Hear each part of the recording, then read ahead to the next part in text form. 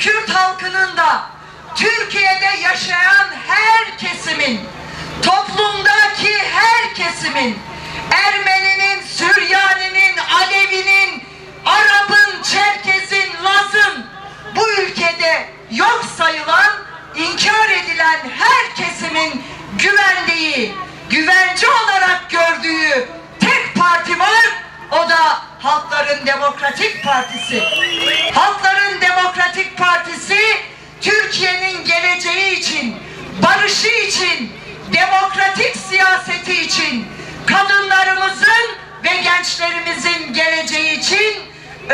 bir mevzidir.